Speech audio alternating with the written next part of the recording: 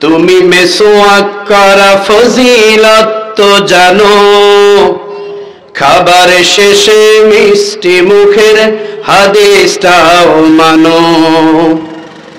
তুমি মেসোয়াক করা ফজিলত জানো। খাবার শেষে মিষ্টি মুখের হাদিসটাও মানো। শুধু হক কথাটা উচ্চ স্বরে বলতে পারো না। অন্যায় দেখে বারুদে হয়ে জ্বলতে পারো না। কেমনে মুসলমান তুমি একটু বলো না। কেমন তোমার ইমান একটু বলো না। তুমি মেসোয়াক করা ফজিলত তো জানো? খাবার শেষে মিষ্টি মুখের হাদিসটাও মানো। তুমি যেই কোরআনের ওয়াজ করলে হাদিয়া তোফা মিলে, দেখো সেই কোরআনের ব্যাখ্যা লিখে কেউ পাশিতে ঝোলে। তুমি যেই কোরআনের ওয়াজ করলে হাদিয়া তোফা মিলে, দেখো সেই কোরআনের ব্যাখ্যা লিখে কেউ পাশিতে ঝোলে। তুমি জীবনের মোহে, তুমি জীবনের মোহে কোরআনের মায়া ছাড়তে পারো না। খোদার রজ্জু আঁকড়ে ধরে থাকতে জানো না। কেমনে মুসলমান তুমি একটু বলো না কেমন তোমার ইমান একটু ভাবনা? তুমি মেসোয়াক করা ফজিলত জানো খাবার শেষে মিষ্টি মুখের হাদিসটাও মানো। যারা দিবসে জামি যায় লড়ে যায় দিন কায়েমের তরে। তুমি তাদের কেউ জঙ্গি বলো বাতিলের সুর ধরে। যারা দিবসে জামি যায় লড়ে যায় দিন কায়েমের তরে।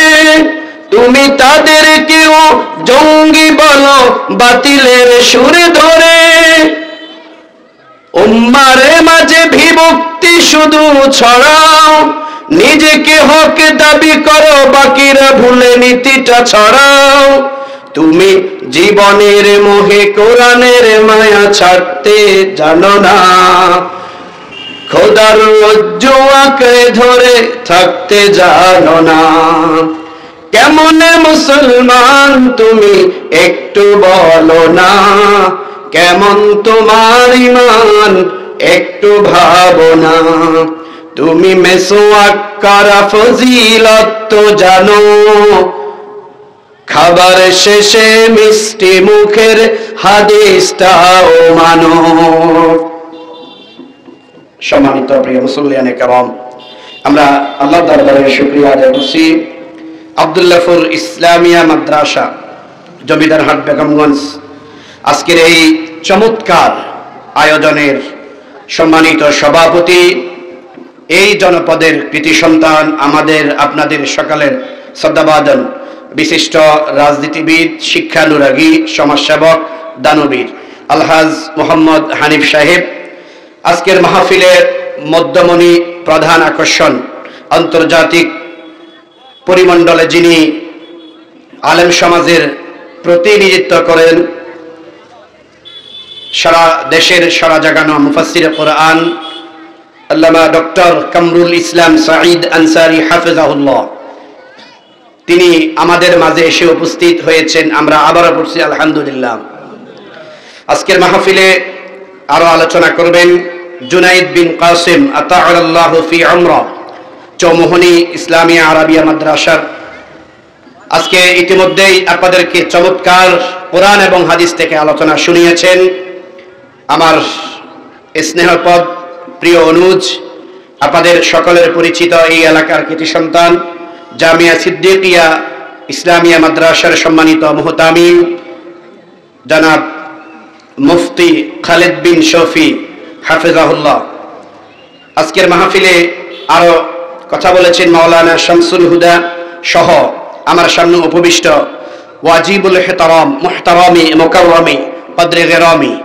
মুকমিনুন মুত্তাকুন মুসলিহুন সামিয়ানার নিচে তরুণ যুবক বাড়িতে শ্রবণদাতা মা এবং বোনেরা আমরা সকলেই আল্লাহ সুবাহান দরবারে কালিমাত শকর আদায় করছি আমরা পড়ছি আলহামদুলিল্লাহ রব্বানা লাকাল হামদ পড়েন রব্বানা লাকাল হামদ হামদান কাসীরান طيبا মুবারাকান ফীহি কামা ইয়ানবাগি সম্মানিত উপস্থিতি, আমরা দীর্ঘ সময় বাংলাদেশ ইসলাম ইসলামী মূল্যবোধ, ইসলামী আন্দোলন, কোরআন সুন্নার পক্ষের যে শক্তি, আমরা দীর্ঘ সময়, প্রায় দেড় যুগের মতো আমরা বন্দি ছিলাম। স্বাধীনতা পরাধীনতার শৃঙ্খলে আমরা আবদ্ধ ছিলাম। আল্লাহ রবুল্লা আলমিন পাঁচই আগস্ট আগস্ট বিপ্লবের পর আমাদের জন্য, কোরআনের জন্য, ইসলামের জন্য একটি উন্মুক্ত পরিবেশ তৈরি করে দিয়েছেন, ঠিক না তফসিল কোরআন মাহফিল আগে করার জন্য অনুমতি উপজেলা নির্বাহী অফিসারের বরাবর অনুমতি নেওয়া লাগতো। অনুমতি নেওয়ার ক্ষেত্রে বিভিন্ন ধরনের রাজনৈতিক নেতাদের শরণাপন্ন হওয়া লাগতো।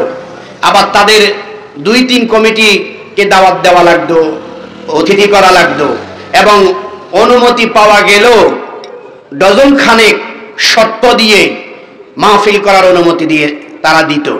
এই যে একটা কণ্ঠকাকিন্নময় পরিবেশ থেকে আল্লাহ রব্বুল আলমিন জগদ্দল পাথর থেকে আমাদেরকে আজকের এই সুন্দর পরিবেশে আয়োজন করার, বসার, শ্রোতা হওয়ার, আলোচক হওয়ার সুযোগ করে দিলেন। আমরা সেই মনিবের দরবার আবারও সুক্রিয়া করছি, আলহামদুলিল্লাহ। সম্মানিত হাজরিন, আমরা আমরা অল্প সময়ের ভিতরে, আমি তো আপনাদের এই এলাকার কৃতি সন্তান, আমি নিজেই মাহফিলের শ্রোতা ওনারা আমাকে আজকে কথা বলার জন্য অনুরোধ করেছেন। কোরআনের ঘোষণা অতিল কালাইয়া মুদাবিলুহা বাইনান নাস। আল্লাহ দিনকে আবর্তন করেন। আজকে যারা শিশু, আগামী দিনে তারা কি হবে? পিতা। আজকে অনেকের দাঁড়িয়ে আমাদের দাঁড়ি কাঁচা। আগামীকালকে আমাদের দাঁড়ি কি হবে? পাকবে। তো এটা আল্লাহর নিয়ম। দীর্ঘ এই সময় যারা এই কোরআনকে, ইসলামকে মগের মূল্যক বানিয়েছে, আল্লাহ রব্বুল আলমিন সেই জুলুমের অবসান করেছেন। আল্লাহ চাইলেই কি আরও আগে করার সুযোগ ছিল কি ছিল না? কথা বলেন না, আরও আগে কি করার সুযোগ ছিল কি ছিল না? কিন্তু কেন করেননি কারণ আল্লাহ জালিমদেরকে সময় দেন। কি দেন? জালিমদেরকে কি দেন? সময় দেন। তাদেরকে অবকাশ দেন। আল্লাহ রব্বুল আলামিন বলেন, ওয়া উমলি লাহুম ইন্না কাইদি মাতিন। ওয়া উমলি লাহুম। আল্লাহ জালিমদেরকে সময় দেন। একটু সময় দেন, দেখেন তারা কি কায়দা কানুন করে। তারা বিভিন্ন রকমের ষড়যন্ত্র করে। আর তাদের ষড়যন্ত্রের মোকাবেলায় আল্লাহ কৌশল অবলম্বন করে। সোমান আল্লাহ ইন্না বাতুসা রব্বিকা লাশাদীদ। আল্লাহ বলেন, আমি ধরি না। আমি ধরি না। যখন ধরি এমন ভাবে ধরি তখন আর ফালাবার জায়গাও সম্মানিত হাজিরিন। আমি সূরা আল আরফ মহাগ্রন্থ আল কোরআনের সাত নাম্বার সূরা আটপাড়ার দশ নম্বর পৃষ্ঠা থেকে শুরু হয়ে এই সুরার চল্লিশ নং আয়াত খুতবার মধ্যে তেলাওয়াত করেছি। এই আয়াতের আলোকে আমি কথা বলব। আপনারা মনোযোগ সহকারে কথা শুনবেন ইনশা।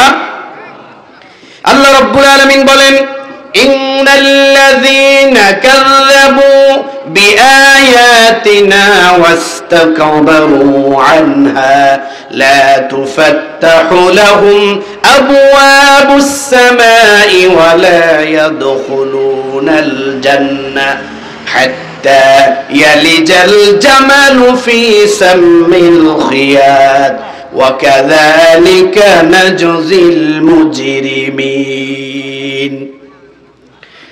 নামাজের ওয়াজ, হজের ওয়াজ জাকাতের ওয়াজ, পর্দার ওয়াজ, অনেক শুনেছি, শুনবেন।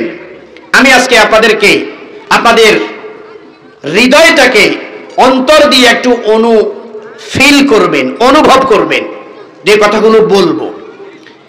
এই পৃথিবীর বয়স বিজ্ঞানীদের ধারণা সাড়ে বারোশো কোটি বছর, আর পৃথিবীতে মানুষ আগমন করেছে মাত্র সাড়ে তেরো হাজার বছর।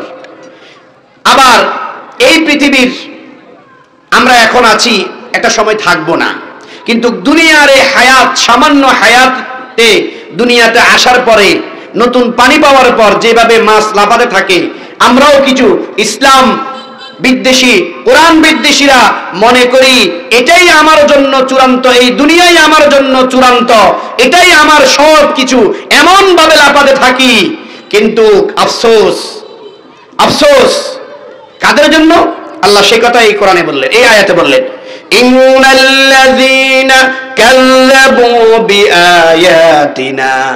নিশ্চয় যারা আমার আয়াত সমূহকে অহংকার বশত মিথ্যা প্রতিপন্ন করে, আমার কোরআনের প্রতি পৃষ্ঠ প্রদর্শন করে, আমার কোরআনের প্রতি বৃদ্ধাঙ্গুলি প্রদর্শন করে। লা তুফাত্তাহু লাহুম আবওয়াবুস সামাই ওই সমস্ত লোকেরা যখন মারা যাবে, তাদের জন্য আকাশের দরজা খোলা হবে না। কি খোলা হবে না? কথা বলেন, কি খোলা হবে না? আচ্ছা এখানে এমন কে আছেন যে আপনি বলেন যে আমি মরবো না? আকাশের দরজা খোলক আর না খোলক, আমি মরবো না। এরকম কি কেউ আছেন? মরা? কথা বলে না। মরা লাগবেই যতই লাভ মারি, যতই ফাল মারি, মরতেই আইনাল মাফার পালাবে কোথায়? পালানোর জায়গা আছে নাকি? নাই। তাহলে আল্লাহ বললেন, নিশ্চয়ই যারা আল্লাহর কোরআনকে প্রতিপন্ন করে, বৃদ্ধাঙ্গুলি প্রদর্শন করে অহংকার বশত যারা বলে এই কোরআন দিয়ে সমাজ, রাষ্ট্র, পরিবার চলতে পারে না, এই কোরআন মাদ্রাসায় থাকবে, মসজিদে থাকবে, এই কোরআন দিয়ে সংসদ চলতে পারে না, তাদেরকেও কি মরা লাগবে, কি লাগবে না? আজ পর্যন্ত তাদের দলের লোকজন কি মরে নাই? কথা বলে না। আল্লাহ কি বললেন? তাদের জন্য শুধু আকাশের দরজা খোলা হবে না, শুধু আকাশের দরজা নয় সাম্মিল আল্লাহ রাব্বুল আলামিন কত চমৎকার উদাহরণ দিলেন। এই কোরআন প্রায় দেড় হাজার বছর আগে আল্লাহ রাব্বুল আলামিন অবতীর্ণ করলেন নাজিল করলেন। এই কোরআনের ভিতরে এমন চমৎকার চমৎকার বিজ্ঞানের থিওরিগুলো আল্লাহ দিলেন। দেড় হাজার বছর আগে আল্লাহ রব্বুল আলমিন যেই থিওরি দিলেন, মাত্র এক দেড়শো বছর আগে বর্তমান আদুনা বিজ্ঞান সেইগুলো কিছু কিছু তারা আবিষ্কার করতে সক্ষম হয়েছে। আল্লাহ বললেন আল্লাহ কি চমৎকার উদাহরণ দিলেন যে ততক্ষণ পর্যন্ত সেই জান্নাতে প্রবেশ করবে না। যতক্ষণ না একটা সুই নোয়াখালীর ভাষায় কি বলে? হুইস নোয়াখালীর ভাষায় কি বলে? হুইস। এই হুইসের পিছন দিয়ে যতক্ষণ পর্যন্ত একটা ওট ঢুকতে না পারবে ততক্ষণ পর্যন্ত তারা জান্নাতে প্রবেশ করতে কথা বলে না। কি জান্নাতে প্রবেশ করতে? এখন আল্লাহর ওয়াদা কি সত্য না মিথ্যা? তাহলে জান্নাতে প্রবেশ করতে হলে এই কোরআনটাকে মিথ্যা বলা যাবে না সত্য বলতে হবে। শুধু কি যখন মাহফিলে আসব তখন না যখন রাজপথে স্লোগান দিব তখন? কত, কখন কখন? সব জায়গায়। দিন কতক্ষণ মানবেন? আল্লাহ বললেন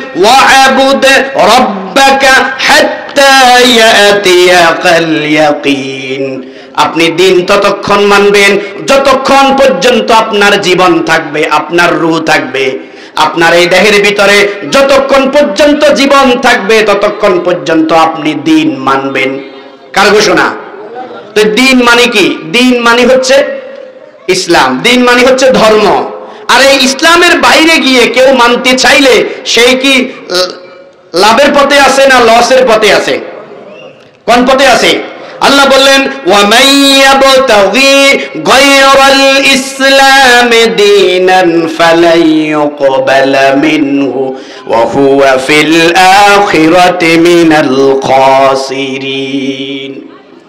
ইসলামকে বাদ দিয়ে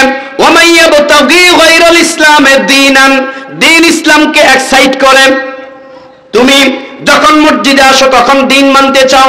মসজিদ থেকে তুমি যখন রাজপথে চলে যাও, তখন আর দিন মানার প্রয়োজন মনে করো না। তুমি যখন ব্যবসা করতে যাও, তখন আর সেখানে দিন মানতে চাও না। তুমি হজ করতে যাও, তিন লক্ষ, পাঁচ লক্ষ টাকা খরচ করে। আবার ওই হজ করে আসার পরে তুমি সুদি কাজ কারবারও করে। এরকম লোকও আমাদের দেশে আছে না নাই? তো এই লোকটার জন্য কি ইসলামের ভিতরে কি ইসলামী অর্থনীতি আসেনি? কথা বলার। ইসলামের ভিতরে কি ইসলামী অর্থনীতি আসেনি?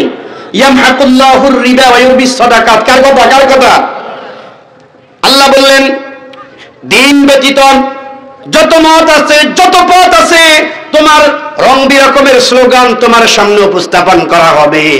এই স্লোগানের যত রং থাকুক, যতই ঢং থাকুক না কেন, এই স্লোগান তোমার জীবনের কোনো পরিবর্তন করবে না। বরং এই স্লোগান তোমাকে সোজা জাহান্নামের দিকে নিয়ে যাচ্ছে। আজকে যুবকেরা যুবকেরা, আজকে কালমার্কস লেনিন মাওসেতুং এদের আদর্শের পিছনে দৌড়ে দৌড়ে তাদের জীবন যৌবন অর্থ সব ক্ষয় করছে, ঠিক কিনা বলেন? তাদের বিষয়ে আল্লাহর বক্তব্য কোরআনে আসে না নাই? যারা ইসলামটাকে মনে করে এটা শুধু মসজিদে ধর্ম, এটা ধর্ম মনে করে। ইসলাম শুধু ধর্ম নয়, ইসলাম হচ্ছে একটি পরিপূর্ণ জীবন বিধান। ইসলামের এমন কোন মানুষের জীবনের এমন কোন দিক এবং বিভাগ নাই, যেটি ইসলাম পরিপূর্ণভাবে সমাধানের ব্যবস্থা করেন নাই। সম্মানিত হাজিরিন, আসেন। মানুষ মৃত্যুর পরে মানুষের দুটি অবস্থা হয়। কটি অবস্থা? দুটি অবস্থা। মানুষ এন্তেকাল তারা রুহটাকে উপরের দিকে নেওয়ার চেষ্টা করেন আমার আয়াতের আলোচনায় হচ্ছে কি তাদের জন্য আসমানের দরজা খোলা হবে না। আবার বিপরীত পক্ষে আয়াতের বিপরীত অর্থের দিকে তাকালে এক দলের জন্য খোলা হবে না, আরেক দলের জন্য কি হবে? খোলা হবে। সম্মানিত হাজরিন মানুষ যখন মরে যায়, এরপরে এই তার রূহ আমাদের শরীরটা দুই ভাগে বিভক্ত। কয় ভাগে? কথা বলেন, কয় ভাগে?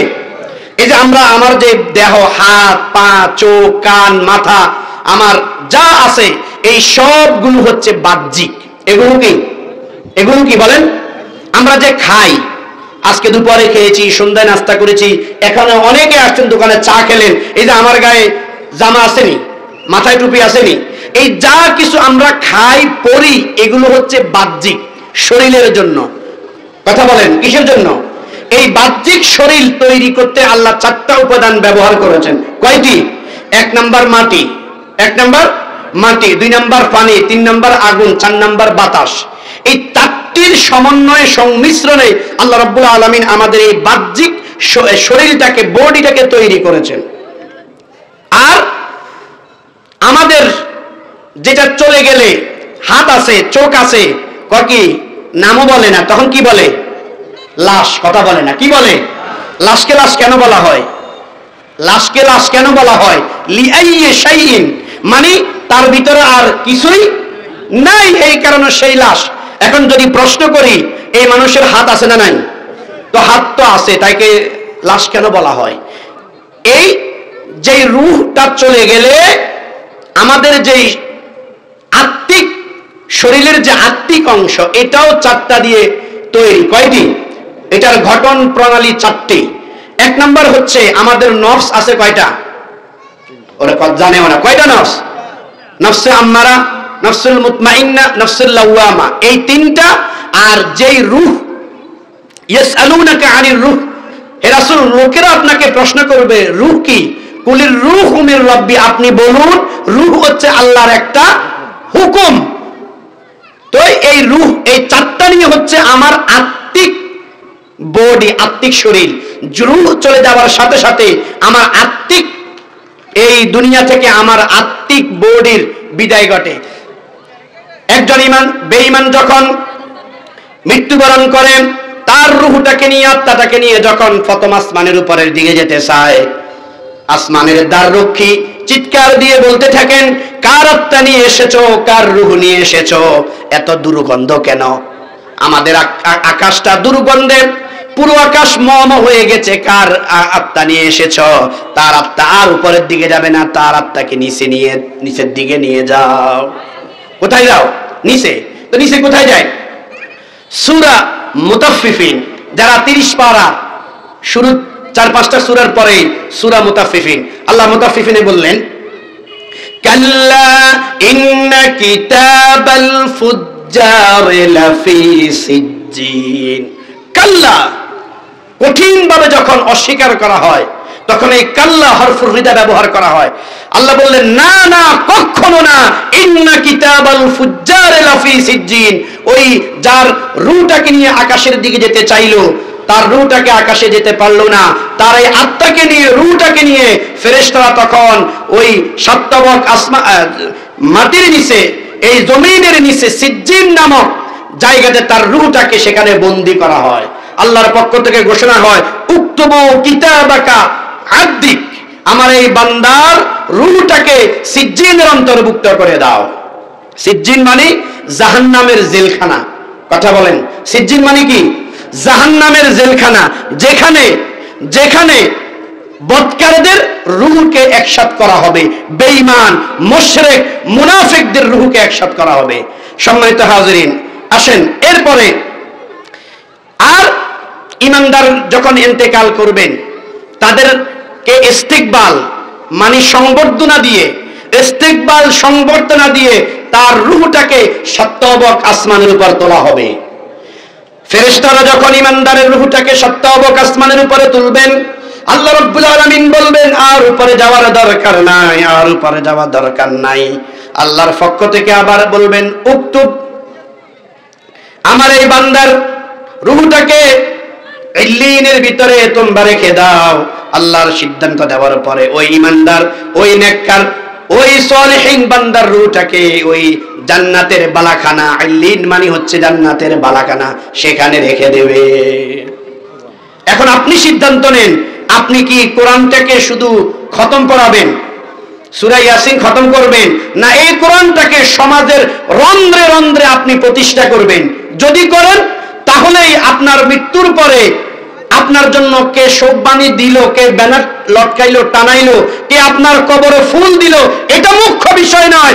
মুখ্য বিষয় হচ্ছে আপনার মৃত্যুর পরে আল্লাহর পক্ষ থেকে আপনার রুহু সত্তরক আসমানের উপরে ওই ইল্লিন নামক জায়গায় যাবে কি যাবে না, সিদ্ধান্ত আপনাকে এখন নিতে হবে।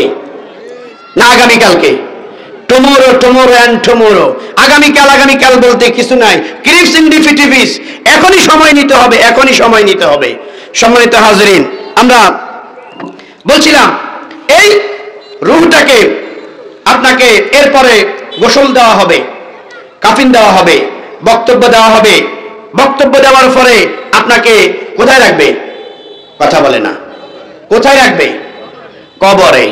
অনেকে কবরে নামে না। কবরে নামার সময় অনেকে চায় না। এই কবরে রাখা হবে।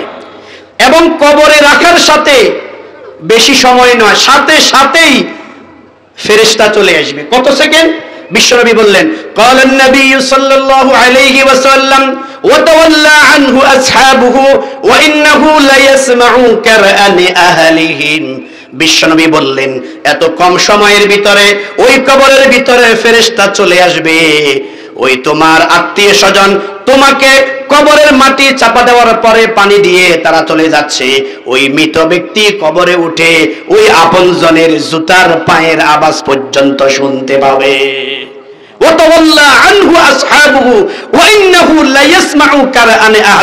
এত কম সময়ে ফেরেস্তা চলে আসবে। এরপরে ফেরেস্তা আপনাকে প্রশ্ন করার জন্য উঠাবে, বসাবে।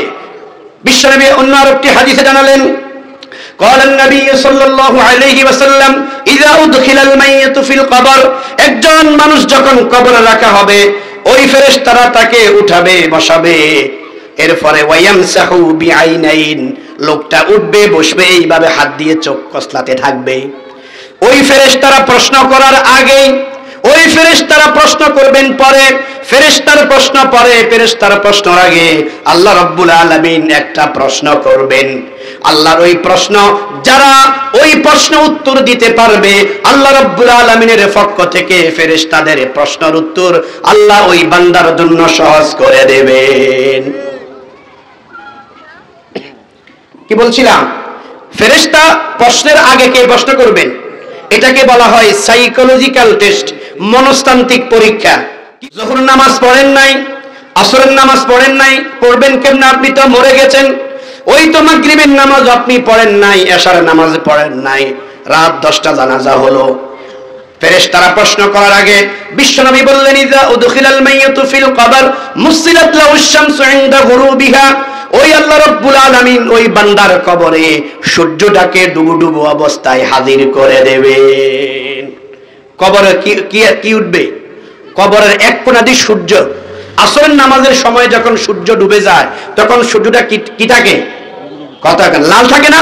ওই ইমানদার হক, বেঈমানদার হক, সে উঠেই দেখবে সূর্যটা ডুবে যাচ্ছে মানে আসরের নামাজের ওয়াক্ত শেষ। লোক, আল্লাহ রব্বুল আলমিন আই সাইকোলজিক্যাল টেস্ট করবেন। তিনি চাইবেন লোকটা কি দুনিয়াতে নামাজি ছিল না বেনামাজি ছিল? নামাজি দলের সাথে উঠা বসা ছিল না ইহুদি মুশ্রিকদের সাথে তার উঠা বসা ছিল?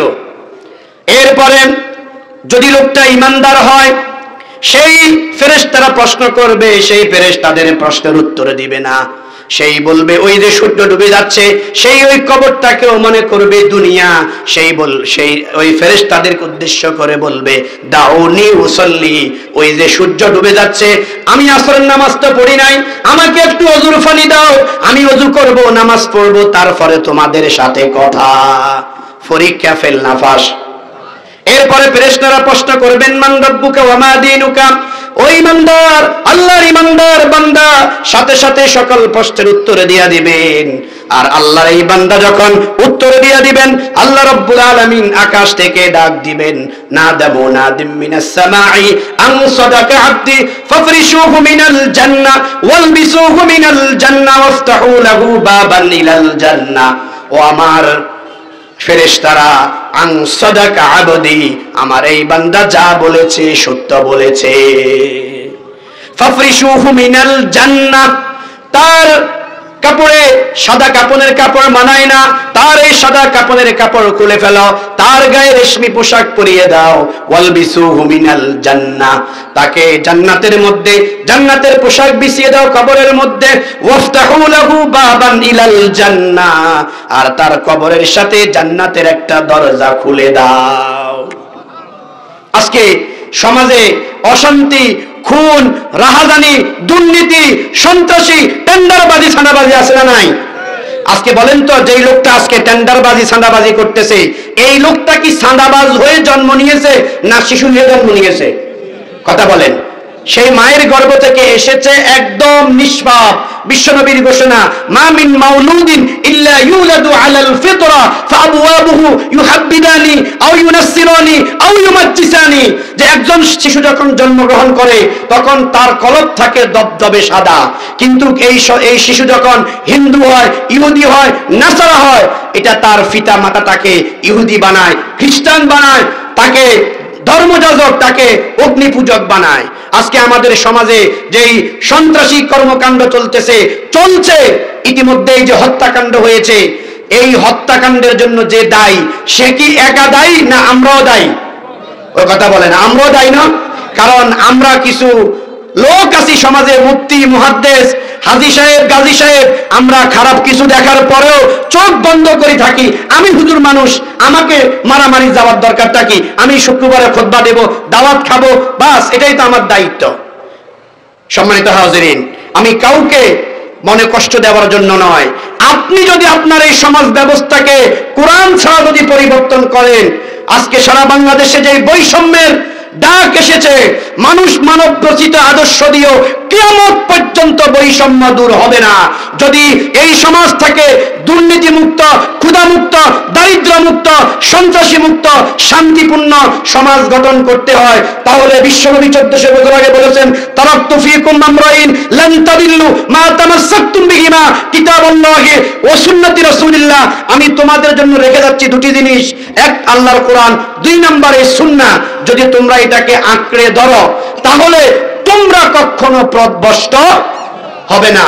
সমাজ শান্তি আসুক। আমরা চাই কোরআনের এই সুবাতাস সমাজের প্রত্যেকটি ছাত্রের কর্ণকুরে পৌঁছে যাক। আমাদের মা বোনরাও এই কোরআনের আলোয় আলোকিত হয়ে আম্মাজান খাদিদা আয়েশার কাতারে সামিল হোক। আল্লাহ আমিন।